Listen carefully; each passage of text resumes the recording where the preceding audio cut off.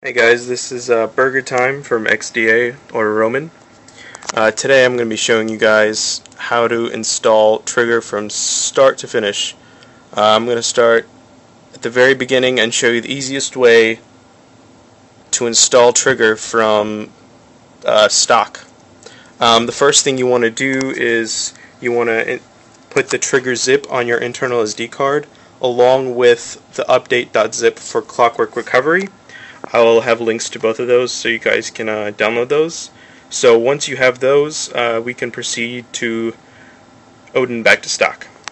Um, if you guys aren't familiar with this, I highly suggest you do get familiar. Um, it's extremely important that you do.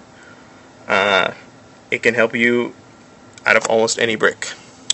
So what we want to do first is select the pit file.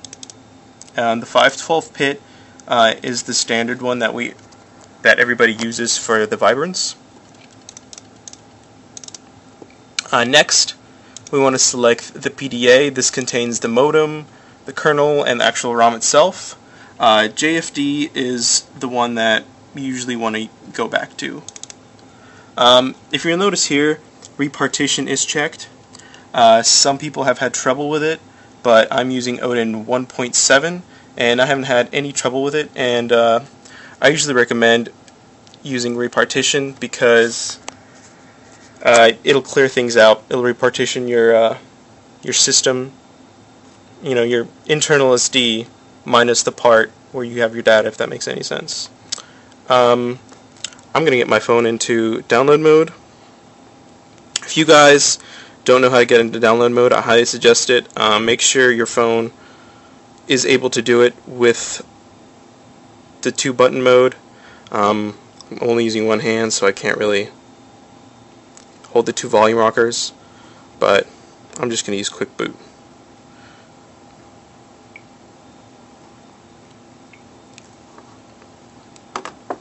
Okay, phone's going to get into download mode and now uh, my PC is just installing its drivers haven't used download mode. I haven't used it in a while. Let's see. There it goes.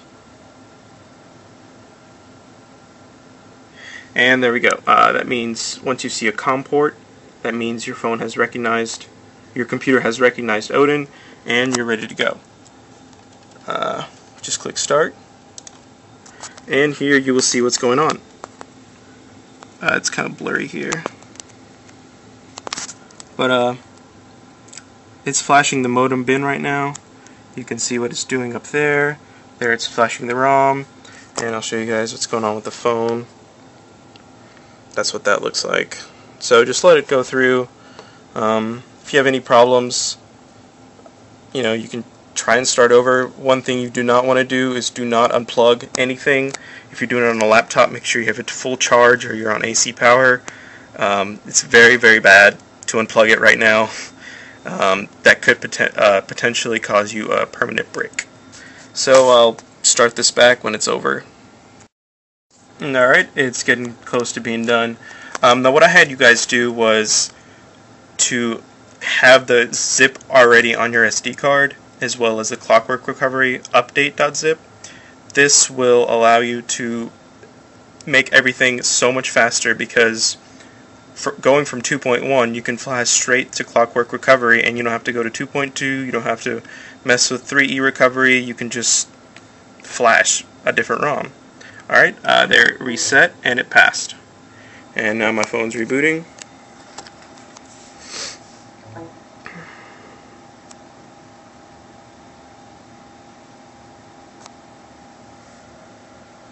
Focus. Alright, so it's just going to restart and it's going to boot into 2.1 JFD stock firmware.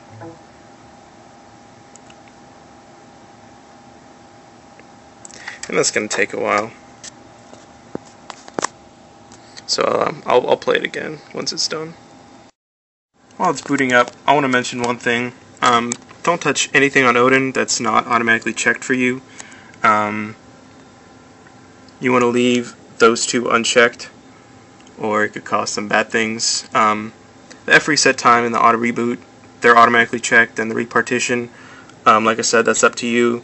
I usually do it to get a clean start and clean anything out that might have been left from past ROMs that cause problems. And, uh, okay, so my phone's just now booted up. And honestly, you don't really have to wait for it to finish doing anything. Um, let me see if I can reset it with one hand. We want to go into recovery. So I just hold the power button and the two volume buttons. And you hold the power button until you see the Vibrant logo. And let's see if I can get in there. Yeah, there we go. Alright, so I have my clockwork mod update.zip on my SD card and that allows me to just go to enter recovery and reinstall packages. It's the second option. Just hit enter and it's going to flash that and it's going to reboot right back into that recovery.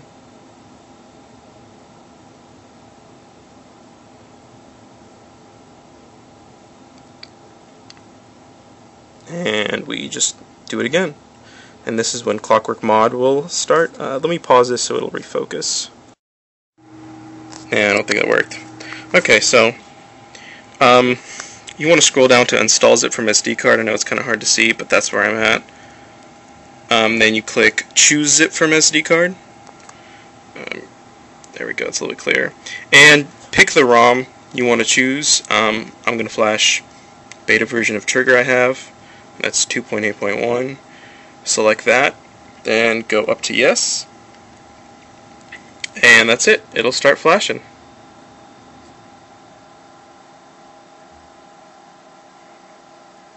Some of the cool things you can do with the new Edify scripts I've been messing with. So, when you click repartition, if your phone was running Voodoo before, it will not be. So, it's going to take a little while to format and to copy all the files um, because you're running RFS and not ext4. So if you're on Voodoo and uh, you kind of skip the Odin part, this will go a lot faster for you.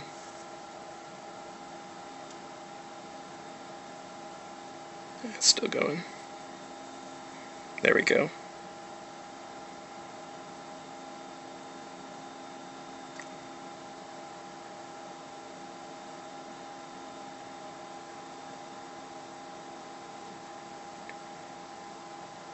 Alright, and that's it. Uh, you can now hit go back, and you can reboot. Uh, if you guys want to turn keep Voodoo off, here's what I would suggest. Uh, go to advanced, and then you want to do reboot recovery. It's the first option. Voodoo is enabled by default with trigger, so those of you guys who want it off, uh, just follow the steps. It's really easy.